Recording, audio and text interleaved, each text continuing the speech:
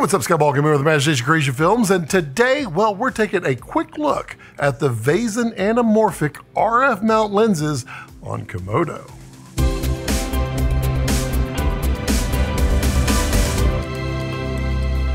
Okay, so let's talk about the Vazen anamorphic RF lenses. Now, I only got to play with them for a very, very short time, so you'll have to treat this as a mini review. And if you like me to do a full review, longer or better or deep dive or whatever, just let me know.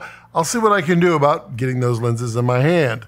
Now these are adapted from Micro Four Thirds lenses and they're not quite 2x. They're not 1.33 either. These are an odd value of 1.8x. And I, I personally don't like the look of 1.33 much at all as it just doesn't seem to give you enough of that true anamorphic look. And I wasn't sure if the 1.8 was going to do it, but I was honestly surprised at how much closer they are to 2x. Well, I mean, math would tell you that, but I don't like math. So I go by look. Also, I do math, um, but I don't like it. So, yeah. Did you know that uh, you're probably not subscribed to this channel? Be a lot cooler if you did. Also, if you can give me a thumbs up, it really helps the algorithm quite a bit, and we all know how much we want to please the algorithm. So let's take a look at the footage, and the special thanks to my friend Tim Daust for letting me check them out while I was in town in Atlanta. The first thing I notice is pulling focus wide open is a real challenge, and I wish I had more time to have done a better job.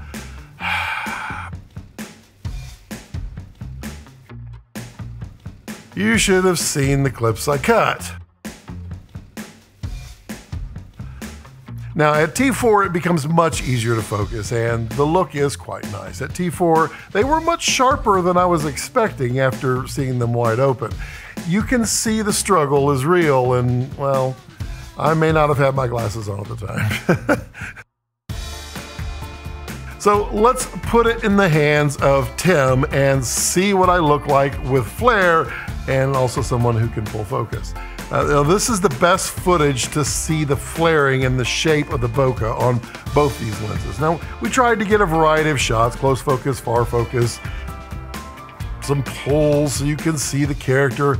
Obviously, these are very limited shots. Again, I had very little time, literally two hours total.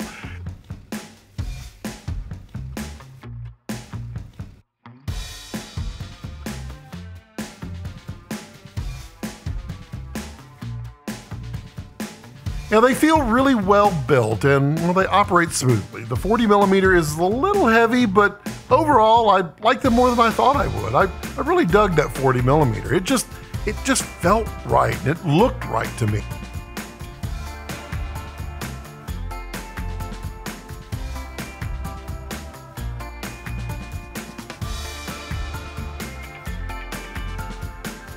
The 28 millimeter wasn't bad at all. There's just some funny things the flaring does, and it can get a little distracting at times. But if you're not trying to flare everything, I think they look rather controlled.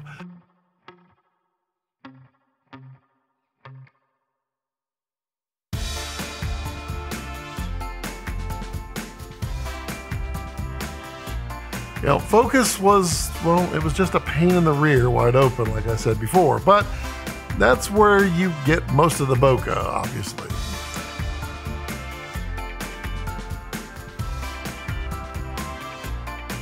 Now both of these sharpen right up at T4 and they cover Super 35, but just barely. They'll cover Komodo, but just barely. So yeah.